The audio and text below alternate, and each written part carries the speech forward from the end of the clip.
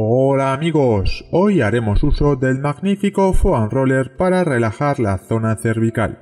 Este ejercicio nos será muy útil para disminuir el estrés y tratar varias lesiones a nivel cervical. Muy fácil. Colocamos el foam roller en horizontal y nos tumbamos apoyando la cabeza sobre él, de tal manera que sea la zona suboccipital la que quede apoyada. Relajamos la cabeza y dejamos que la presión de la gravedad haga su efecto, relajando toda la musculatura suboccipital.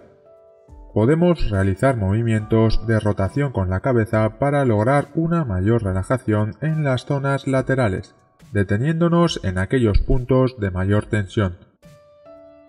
Si buscas una liberación adicional, podéis levantar la pelvis aumentando así el apoyo sobre el cuello, provocando una relajación más profunda.